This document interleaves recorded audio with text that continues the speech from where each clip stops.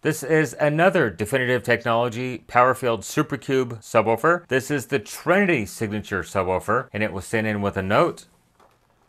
Deftech Sub Trinity 2000 watts Bluetooth fuses. Running it with Yamaha Preamp CXA 5000. Now running a small Klipsch sub. When I powered up, I pushed the fuse pressed, tray in, sub buzz, then fuse blows. Ethan from New Carlisle, Ohio. So let's go ahead and do some basic checks on this thing and see if we can come up with some kind of a logical conclusion. Okay, so I'm thinking the first thing I want to look at is these four big MOSFETs back here on the heatsink. That is the power amplifier. And I see some other components over here. I think they're diodes because if you look closely, they only have two leads. Kind of hard to show on the camera. But I just want to check diode junctions on all of those. And if you see these four little diodes right there, there, there, and there, I want to go ahead and check those as well. I see four capacitors in this neighborhood right here. I want to check those.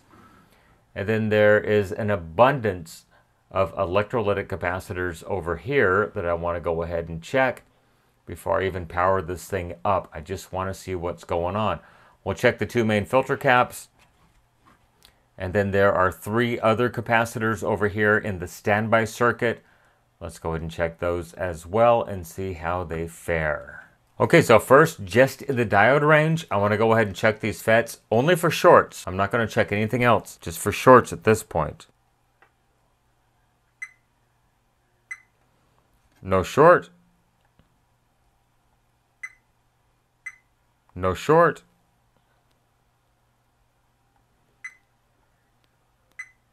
No short.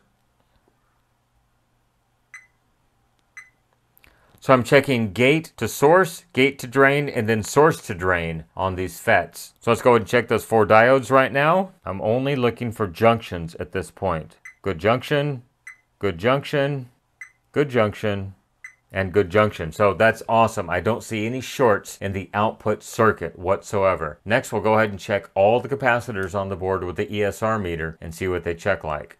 So that you guys can follow at home, I did draw a roadmap of all the capacitors on the board, and this is the bottom of the board view so that I can keep up and quickly check these capacitors. I can reference the sheet, and it does show the polarity, so if I do need to change them, I don't trust the silk screen, as you've seen. I already have it marked down as to what the negative lead is. The little black line on the edge of the capacitor is the negative lead on all of these caps. So let's go ahead and check those and see how they check. We'll start with the main filter caps. These are 220 microfarad caps. First, lead integrity 0.00. I like that. And I see 0.04. I'm perfectly happy with that. And another 0.04. Perfectly happy. Now this is a 220 microfarad cap at 35 volts. And I see 0.19. I'm good with 0.19. Another 220. 0.2 ohms. Perfectly fine. This is a 470. 0.14. I'm good with that. This is a 10 at 50. 8.8. I am not good with 8 ohms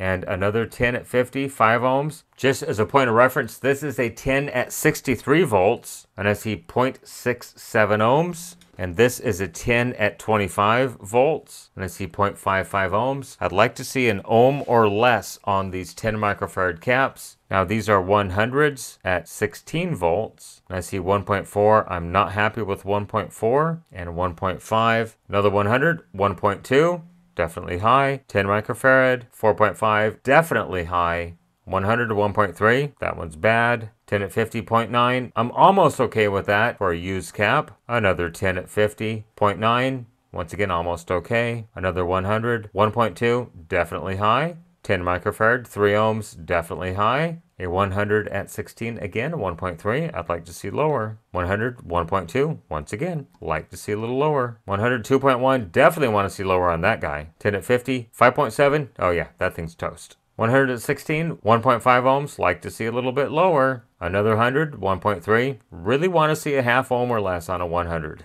Another 100, 0.83, that's almost okay. This one is a 10 at 50, 3.5 ohms, 3.2. Really like to see an ohm or less. And least, but not last, I'm not sure. Maybe it's last but not least. A 100 at 1.3 ohms. Definitely, once again, like to see about a half ohm or a quarter ohm at most on these things. So at this point, I've checked the FETs. I did check the diodes. They all tested fine. I'd like to replace every capacitor on this board just to be safe. But next, I want to go ahead and check all the caps on the preamplifier board as well. So the first one is going to be a 100 at 25 and 2.7. I'm not good with that. These are 10s at 50, 3.2 a little bit high, 2.6 a little bit high once again, another 10 at 50, 0.38. I'm actually good with that. These are 100s at 25, like to see in half ohm or less, and I see 0.35, I'm good with that. And 0.37, perfectly fine. This is a 10 at 50, 3.3, 3.2, a little bit high in my book. 3.5, a little bit high. This is a 10 at 25, 0.2, I'm perfectly fine with that. Now this is a 22 at 50, 2.7, a little bit high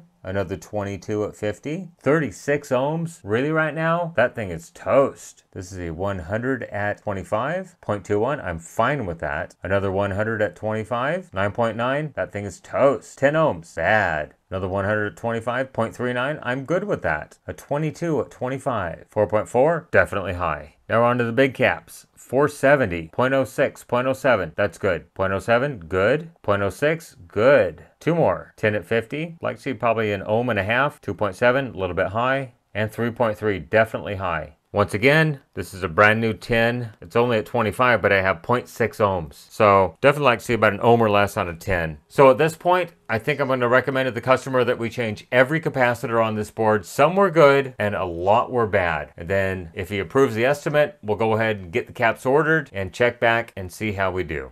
And just because we're here, we'll go ahead and check these two speaker coupling caps. They are 220 microfarad 100 volt caps, and they effectively are a bandpass filter that don't pass bass from the input to the output if you're using the speaker terminals right here, the high level in and the high level out. And to test those, we just need to go from the positive to positive input. I see 0.06, 0.07. I'm okay with that. And 0.14, a little bit high. I think I have some brand new ones. Let me grab one and we'll test it. So these are Nichicon 220 microfarad to 100 volt bipolar caps. They're speaker coupling caps. They're not polarized.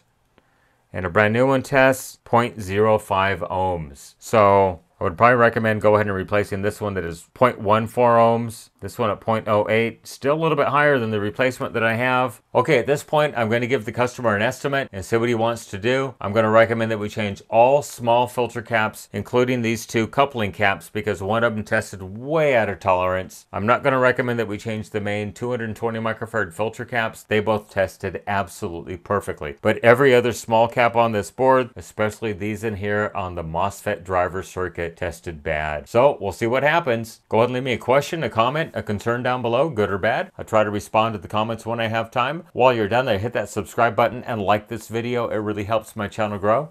You can follow me on social media, Facebook, Instagram, Twitter at NorCal715.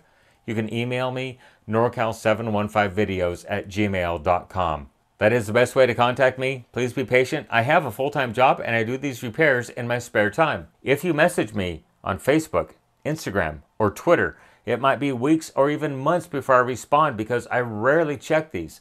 If you want to contact me, please, everybody, use the Gmail address only. Remember, with your help, we could try to keep these things out of the landfill, out of the recycle bin, and out of the e-waste facility. Everyone, thank you for making it to the end of this diagnosis video. I really appreciate it. Everyone have a great day. Thanks for watching. Bye-bye.